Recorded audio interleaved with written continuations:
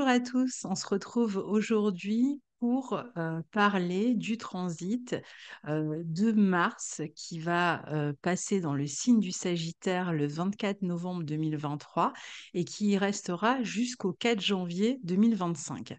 Alors, les aspects qu'il va former au cours de son transit, ce sera un carré à Saturne le 25 novembre, hein, donc quasiment en entrant, il se confronte directement au carré de Saturne.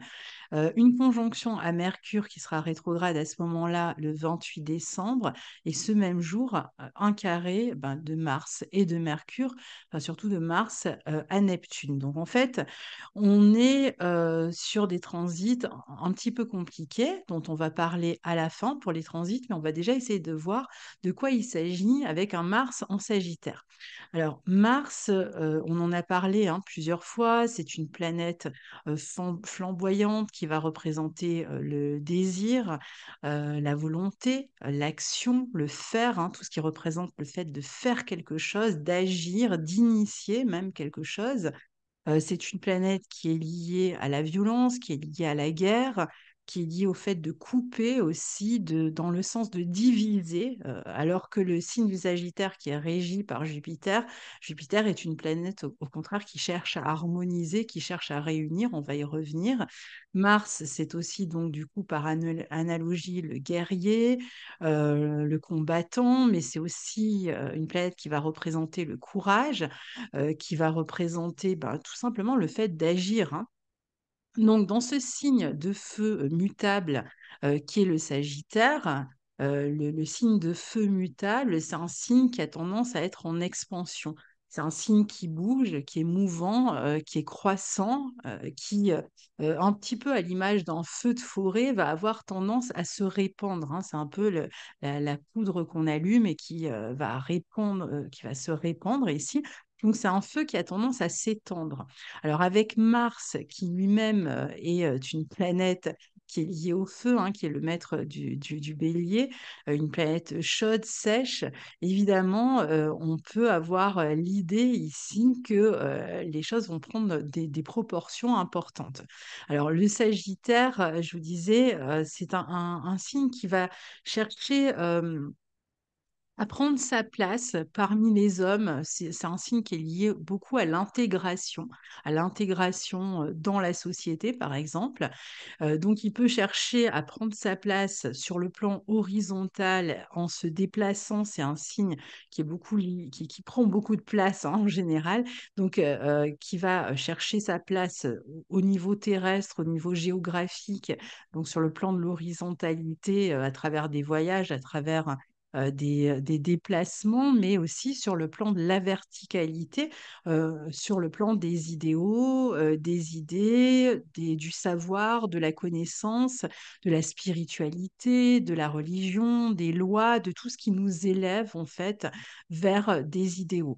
Donc tout ce qui peut réunir et maintenir ensemble les hommes dans ce signe du Sagittaire, car ne n'oublions pas, le Sagittaire, je vous disais, est maîtrisé par Jupiter, euh, qui pour les anciens était euh, le grand harmonisateur. Hein. c'est un peu le, chef d'orchestre qui essaye d'harmoniser le tout ensemble. Donc il fait en sorte que les hommes puissent vivre ensemble, et dans ce signe du Sagittaire, d'où le fait qu'il va régir toutes les institutions ou les instances qui font bien fonctionner les hommes ensemble. Donc les lois, la justice, hein, les religions, euh, le savoir, les connaissances, tout ce qui permet en fait d'un bon vivre ensemble c'est aussi un signe qui est très initiatique, dans, un peu dans le sens ancien de l'initiation c'est-à-dire le, jeune qui devait passer telle ou telle étape pour passer à l'âge adulte. Donc il y a un peu cette idée dans le signe du Sagittaire que l'action, elle va devoir développer une forme de sagesse pour pouvoir être plus mature pouvoir arriver à maturité, en fait. donc, il est possible qu'il y ait d'abord un élan un petit peu jeune dans une direction, qui manque un petit peu de maturité ou de sagesse dans une direction, une orientation qu'on prend, hein, puisque le, Sagittaire tire la flèche, donc prend une direction, donc une orientation, le sens, Heu, d'ailleurs, c'est intéressant de voir que le mot «sens» parle à la fois de direction, mais c'est aussi le fait de donner, heu, de la substance à sa vie.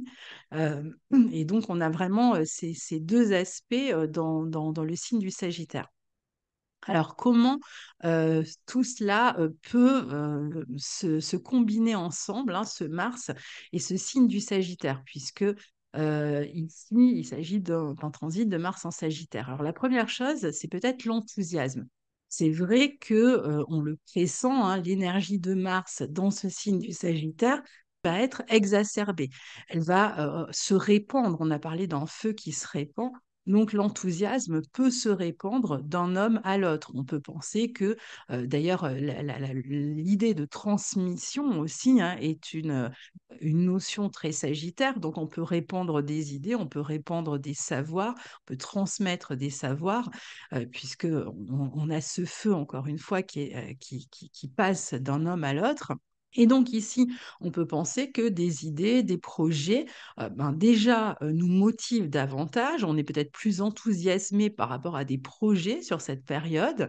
Heu, on se sent peut-être capable de tout. On a des projets qui correspondent à des idéaux, particuliers et on veut convertir peut-être les hommes, les autres à ces idéaux ou à ces projets. On a envie d'embarquer des personnes avec nous dans nos projets, de les stimuler, de les inspirer, de leur faire ressentir l'envie de se greffer à nos idées, de nous suivre ou de participer à nos projets.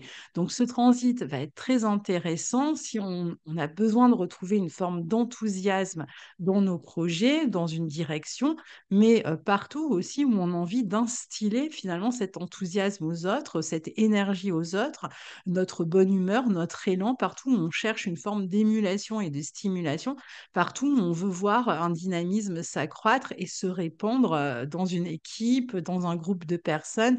Et donc, sur le plan collectif, donc ça, c'est plutôt à un niveau individuel, mais même à un niveau collectif, hein, et sur le plan collectif, c'est vrai qu'il peut y avoir des sujets qui vont susciter, notre volonté peut-être aussi de prendre parti, d'argumenter, de défendre des idéaux. Parfois peut-être aussi de nous radicaliser un peu, d'être moins dans le consensus parce que le Sagittaire, il croit en ses idées, en ce qu'il défend, il et la la contrepartie, c'est qu'il a tendance à agir un petit peu comme un missionnaire qui va chercher à convertir les autres ou convertir ce qui l'entoure à ce qu'ils pensent être une vérité.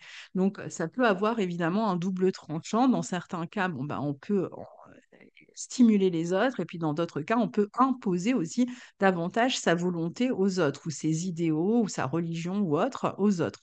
Donc, il peut y avoir ici des sujets de société qui peuvent être à l'origine d'un côté de gros débats, et euh, si débat il y a, on ne s'attend pas avec un Mars en Sagittaire à un avis euh, tiède. Euh, on a plutôt tendance quand même à prendre parti ici.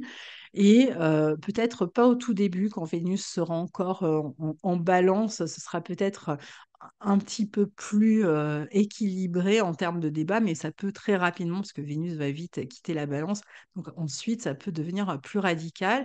On peut avoir aussi des personnes qui vont se révéler et qui viennent embraser les foules, qui viennent enthousiasmer grâce à un projet, une idée, un grand projet collectif qui pourrait enthousiasmer tout le monde. Alors, deuxième chose qui peut se passer, j'ai parlé du côté un peu missionnaire du Sagittaire. Donc, le la 2 chose, c'est qu'il peut y avoir un peu trop de zèle, en fait, dans ce qui se passe. Le problème, c'est que ce côté missionnaire, cette tendance à agir pour ses idées ou pour ses idéaux ou ses croyances, heu, puisqu'on parle aussi de croyance, hein, dans le signe du Sagittaire, donc il croit détenir une vérité, peut faire qu'on va défendre des causes avec zèle, que l'on peut se sentir investi d'une mission, que l'on peut se battre, combattre pour des raisons, heu, idéologiques, religieuses ou autres et heu, chercher à imposer sa vision, sa doctrine aux autres comme étant la seule vérité. Alors ça, ça peut se vérifier au niveau collectif, comme ça peut se vérifier au niveau individuel si on prend part à des débats. La question des religions peut donc être centrale malgré tout ici, hein, avec certainement, des débats, et des, bien tranché en fait, hein, une forme de fanatisme peut-être même dans, dans les débats, mais heu, c'est pas obligatoire que ça se vive sur le plan religieux. Ça peut se faire autour de d'idées, de débats de société qui, touchent d'autres domaines. Le troisième point, heu, auquel on peut s'attendre avec ce Mars en Sagittaire, c'est le côté donneur de conseils. C'est-à-dire qu'évidemment, heu, la corrélation du fait que le Sagittaire puisse, heu, croire en ses idées, être convaincu de ses idéaux et parfois même va détenir la vérité, c'est qu'il va être, heu, un donneur de conseils invétéré.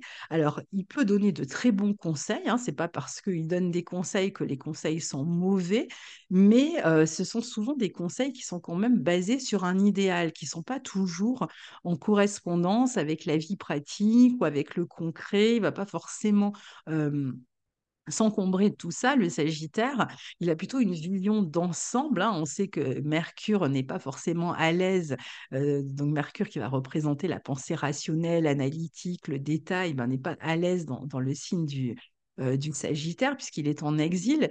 Donc ici, hem, on va agir en fonction d'une vision d'ensemble, d'un projet d'avenir, donc pour soi ou à un niveau collectif aussi. Mais, on va avoir tendance à donner des conseils, heu, qui vont dans le sens, finalement, de ce qu'on a envie de mettre en place.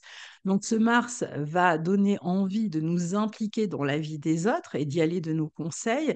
Alors certes, pour ceux qui travaillent dans les métiers du conseil, les coachs, les gourous, heu, les formateurs, les professeurs, les tous les avocats, tous ceux qui ont les médecins même qui ont à donner, un conseil, Bon, bah, c'est une position où vous allez peut-être être plus à même, de d'en donner ici, mais on peut aussi se retrouver avec des personnes qui, cherchent à un peu trop s'impliquer. On a vu que c'était un feu qui prenait de la place, un peu trop à s'impliquer dans nos vies et qui, nous donnent des conseils qu'on n'a pas demandés, qu'on n'a pas cherché à recevoir. Et donc des des personnes qui se sentent comme ça investies d'une mission et heu, qui, heu, vont, heu, intervenir davantage dans notre vie où on peut agir nous-mêmes de cette manière-là, avec les autres. Donc alors, ensuite, dans ce signe du Sagittaire, Mars, c'est aussi, une position, heu, où il peut y avoir une forme de quête, voire peut-être même d'héroïsme, heu, qui, heu, est représenté par ce transit. C'est-à-dire que le signe du Sagittaire, je vous le disais tout à l'heure, est lié aussi au sens. On a vu aussi bien à la direction, heu, dans le sens de l'orientation que dans l'idée de, heu, quelque chose qui fait sens, qui a qui a de l'importance pour nous, heu, qui a une signification, qui nous porte, qui nous nourrit. Et donc, heu, ici, on va être davantage en quête de sens. Mais, heu, on peut être en quête de sens, heu, dans, tout et n'importe quoi. Ça va vraiment dépendre de chacun. Il peut y avoir, une quête de sens à travers, bah, le quotidien, à travers un travail, à travers une passion. Il peut y avoir une quête de sens aussi, à travers des aventures qu'on a envie de poursuivre, parce que c'est vrai que le Mars en Sagittaire, il peut être attiré par des aventures extrêmes, héroïques, hein. Il y a beaucoup de courage dans ce Mars en Sagittaire et hem, donc heu, il peut nous aider à nous diriger, heu, vers un but, un objectif qui fait sens pour nous, qu'on a choisi de poursuivre. Et puis un peu comme avec un Mars en Lion, on a un peu l'idée du héros ici avec toute la série de péripéties, qui peuvent, heu, attendre, heu, ce héros, pour, pouvoir atteindre son but. Donc il peut y avoir des héros qui vont se déclarer, des personnes qui sortent du lot pendant cette période ou qui réalisent aussi des choses incroyables, des aventuriers avec cette notion un peu d'exploit réalisé. On a vu que le Sagittaire, c'est aussi le savoir et la connaissance. Le signe Sagittaire, il aime s'élever aussi par l'esprit, donc on va mettre plus d'énergie avec Mars, à apprendre. On va s'inscrire à à une formation, par exemple. On va se passionner pour, des connaissances qui élèvent du l'esprit, qui font sens, qui nous permettent de nous réorienter dans certains cas. Donc, dans cette période, on va on peut s'inscrire utilement à des formations, se passionner pour des lectures, pour de nouveaux sujets, pour la recherche aussi.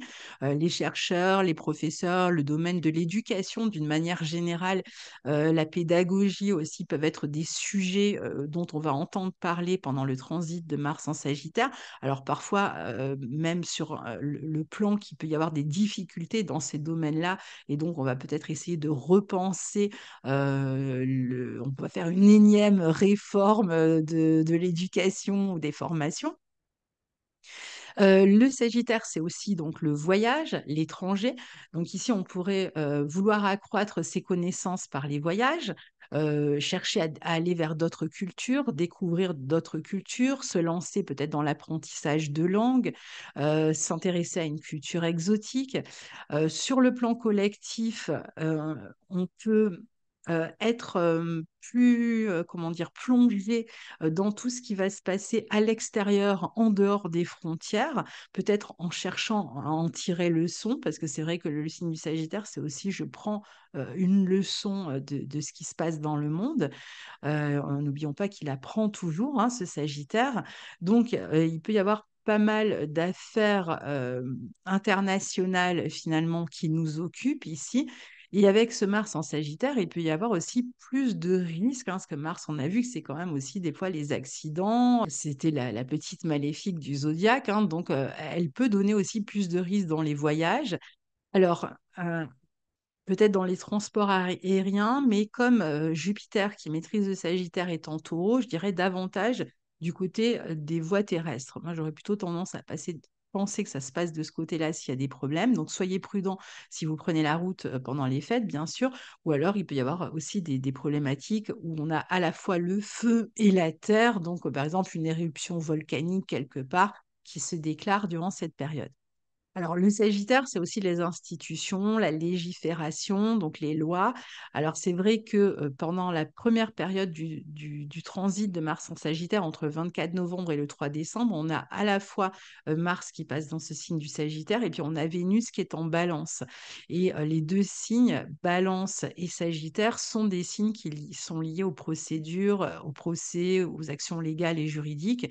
Donc, vous aurez certains, si vous êtes touché particulièrement par ces transits, peut-être plus à faire a avec la justice ou avec des administrations, à régler, heu, des actes, à signer des actes, à officialiser quelque chose et à un niveau collectif, il peut y avoir peut-être des traités internationaux ou des grands procès aussi, heu, qui ont lieu ou même une légif légifération, plus intense, au au niveau national aussi, durant cette période. Alors, le Sagittaire, on a vu que c'était la aussi les religions, mais c'est aussi tout ce qui va concerner, les cérémonies religieuses, les donc c'est pareil, il peut y avoir des des grandes cérémonies, religieuses ou des grandes cérémonies qui, réunissent, les gens, sur cette période-là. Donc avec, peut-être, des compétitions sportives. Je ne sais pas du tout s'il y en a à ce moment-là, je ne suis pas trop au courant, de tout ça, mais c'est possible qu'il y en ait. En tout cas, ça ça pourrait être le cas donc euh, qui réunissent différents peuples et aussi éventuellement, des cérémonies honorifiques. Donc on va discerner, heu heu, ou distinguer quelqu'un, heu, donc de manière, officielle. Il peut être aussi question, de corporation. Alors c'est vrai que pour moi, les personnes qui portent l'uniforme, ça se passe plutôt en Vierge, mais aussi dans le signe du Sagittaire puisque ce sont aussi, toutes les corporations qui maintiennent l'ordre, qui maintiennent un bon vivre ensemble. Donc éventuellement tout ce qui est police, armée, Gendarmerie et cetera, même les médecins. Heu, pourquoi les médecins? Parce que, heu, on a Chiron, hein, un centaure extrêmement connu, qui, est donc un sagittaire et qui représente, l'ordre des médecins. Donc il peut y avoir aussi cette idée de ces corporations-là, dont on entend, plus parler, qui ont peut-être des réclamations ou qui sont plus actives durant cette période-là.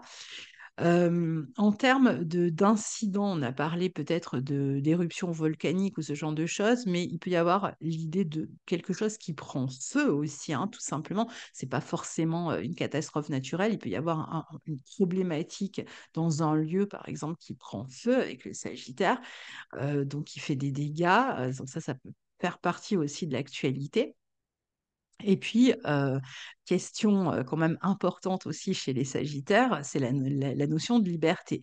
Donc ici, avec un Mars qui combat dans un signe qui cherche la liberté, on peut aussi avoir des sujets autour de la liberté. Alors dans nos vies personnelles, hein, c'est toujours pareil, hein, vous pouvez, à la fois voir à un niveau collectif et à un niveau individuel, on est plus porté, par un élan de liberté, d'indépendance. On peut se battre, être en lutte pour ça, pour, chercher à obtenir plus d'indépendance, ça peut être dans un pays, qui, cherche à, retrouver une forme de liberté et qui se bat, dans ce sens-là. On a aussi l'idée J'en parlais tout à l'heure, hein, le Sagittaire, régi par, Jupiter, qui voit tout en grand. On peut avoir aussi l'idée d'une action, un peu disproportionnée, d'une démesure, d'une, action XXL. D'une manière générale, les actions vont marquer les esprits ici. On va avoir des faits qui vont marquer les esprits. On fait les choses en grand, ou on cherche nous-mêmes à marquer les esprits, hein. Il y a ce côté un peu héroïque.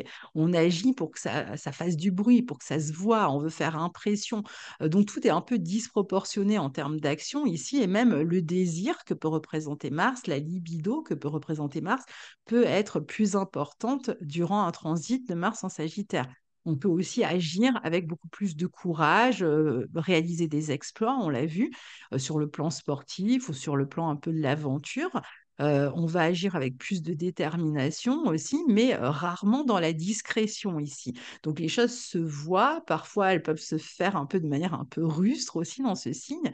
On peut avoir tendance à trop en faire, à prendre plus de risques aussi, mais on a en même temps plus de chance dans ce que l'on entreprend, donc c'est vrai que c'est en encourageant.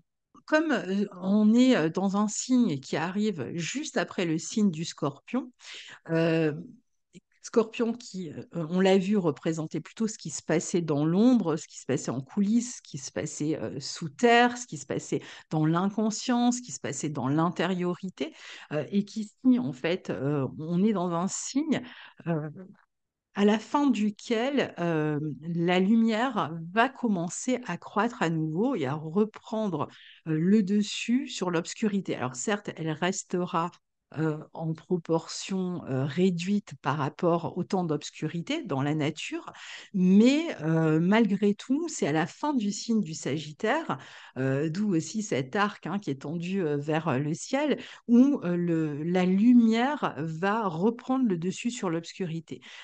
Donc c'est vrai que sortant du Scorpion et arrivant dans le Sagittaire, les choses qui étaient cachées, les choses qui étaient enfouies, les choses qui n'étaient pas sues, les choses qui étaient gardées, qui étaient intériorisées, eh bien, vont devenir plus visibles, plus exposées, heu, surtout sur la fin du transit, du coup, quand, heu, la lumière aura vraiment commencé à croître, heu, donc à partir du mois de décembre et jusqu'à début janvier, on est dans dans la période où on rebascule, hein, où, la la lumière va réaugmenter, hein, même si elle reste en proportion moindre que l'obscurité.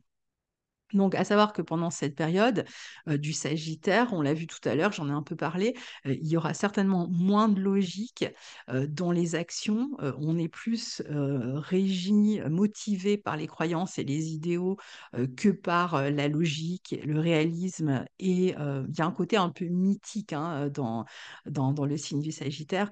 Donc, Heu, plus instinctif aussi, hein. On est sur un signe qui est mi-homme, mi-animal, donc il y a une partie d'instinct aussi, donc d'instinct et d'idéaux, heu, mélangés qui nous poussent à agir.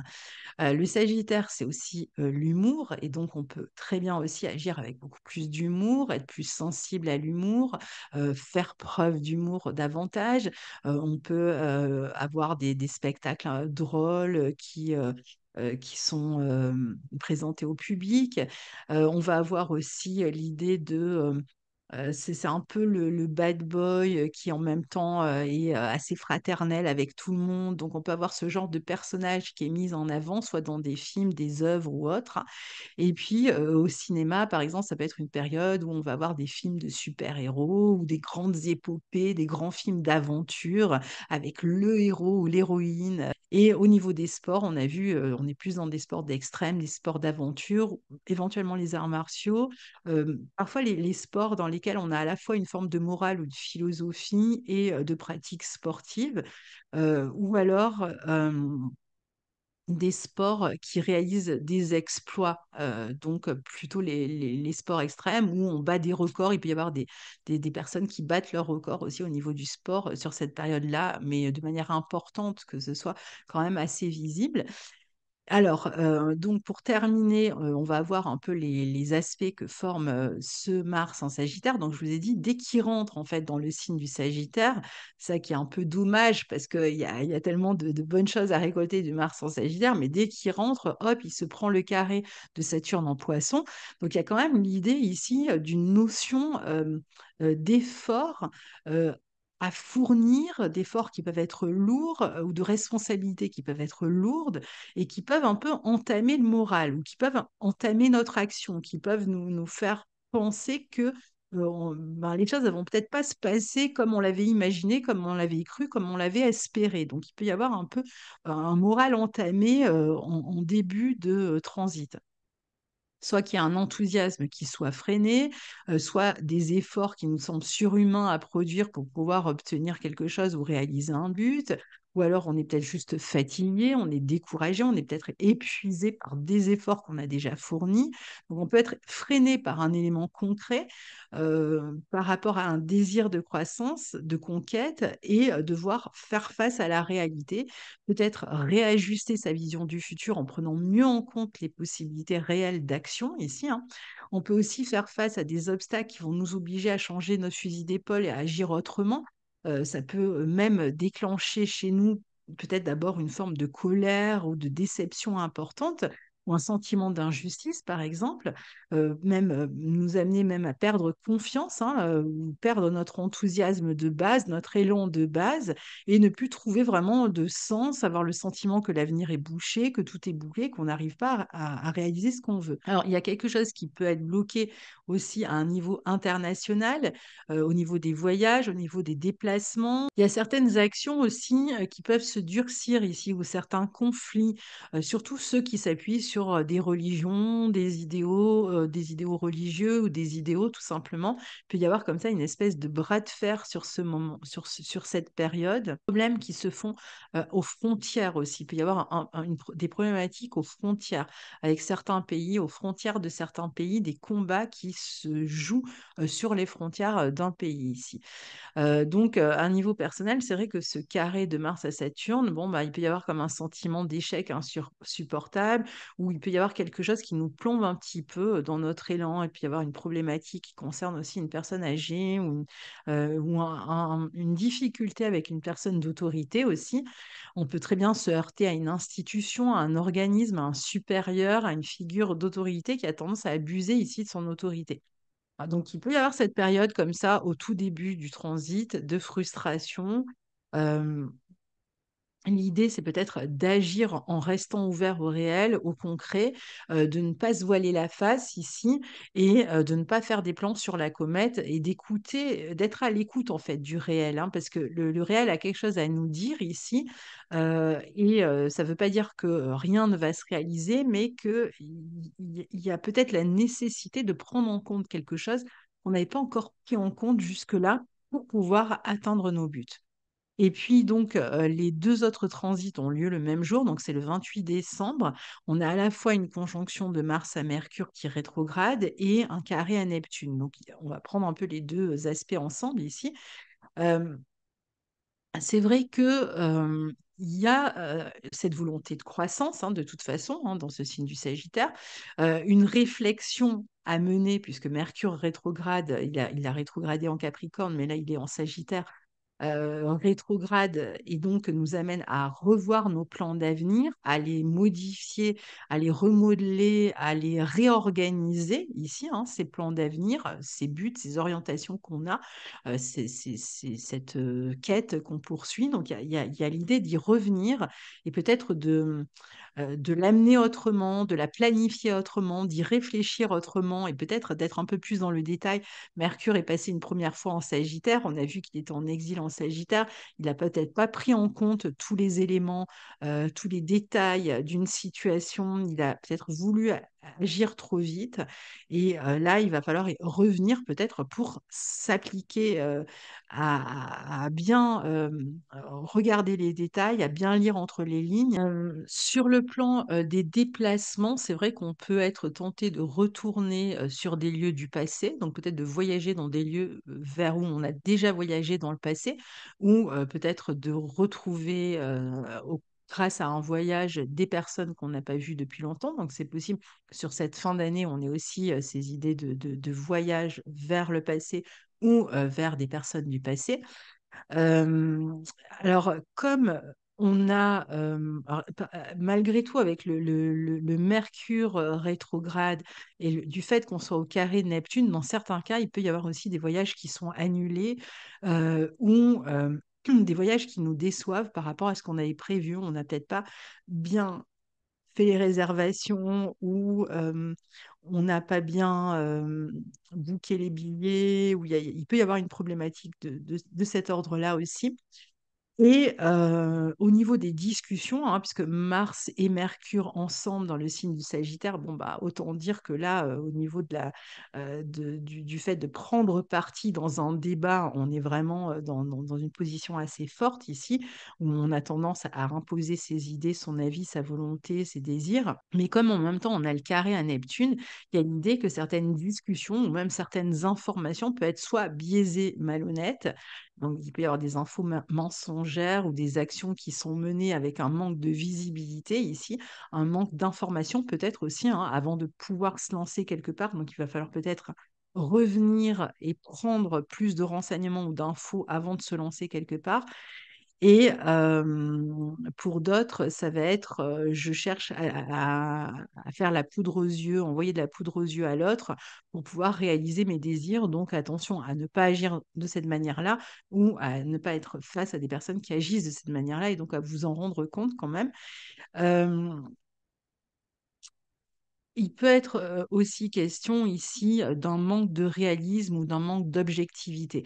Alors soit dans les informations qu'on propage ou qu'on reçoit, soit dans les, dans les les actions qu'on cherche à mener, on n'a peut-être pas, une véritable visibilité ou un côté vraiment, bien, concret et pratique et lucide de la situation ici. Donc, on va avoir tendance souvent à agir sous le coup d'idéaux, sous le coup de croyances. Donc ça peut même donner des difficultés dans la communication parce qu'on pense que l'autre a voulu dire ça, mais en fait, il a voulu dire autre chose. Et l'idée ici, c'est quand même de réussir à être à l'écoute de l'autre. Heu, alors les actions et les paroles peuvent il peut y avoir, heu, une recherche quand même d'harmonisation, mais heu, c'est un petit peu comme si, tout échouait d'une certaine manière, comme si on échouait à, harmoniser les choses. Comme s'il y avait un manque de fondement ou un un but qui est pas suffisamment clair ou qui est pas suffisamment commun. On peut même être, chercher à convaincre quelqu'un et ne pas réussir à le faire, à un niveau commercial, à un niveau d'un débat ou autre. On peut aussi il peut y avoir aussi des scandales importants aussi, hein, là avec le carré à Neptune, on peut être sur des des gros scandales qui éclatent sur cette période-là. Et puis, si on voyage avec ces aspects de carré à Neptune, attention à ne pas perdre ses affaires parce que Neptune a tendance à faire disparaître les choses. Donc on peut très bien voyager et puis paf, on a perdu ses valises. Alors même si c'est que, momentané et qu'on les retrouve après, c'est possible qu'on ait un peu ce genre de situation. On peut perdre aussi le sens de ce que l'on fait de vue. Alors soit parce qu'on est distrait par d'autres affaires et on a vu, hein, on on regarde pas tous les détails et donc on va agir, en étant un peu distrait. Soit on perd, de vue, ses objectifs, on est, dévié d'une certaine manière de ses objectifs ou on se sent dévié et ça nous pose problème et on a envie de modifier quelque chose pour se réorienter plus en fonction de, notre volonté et de nos buts. Parfois, on va agir dans le brouillard, dans la confusion. Il peut y avoir des événements qui jettent beaucoup de confusion aussi dans les esprits, un manque de logique, hein, comme je vous disais. Et puis, toute cette question hein, des, nouvelles trompeuses ou de nouvelles qui peuvent être source de stress à un niveau collectif. Alors après, dans, dans le bon sens aussi, le carré à Neptune, il peut nous faire agir sous le coup d'une inspiration. Alors, pas de problème, mais mieux vaut quand même attendre que Mercure redevienne direct. Alors ça va si c'est sur le plan créatif, parce que ça n'aura pas forcément d'incidence importante.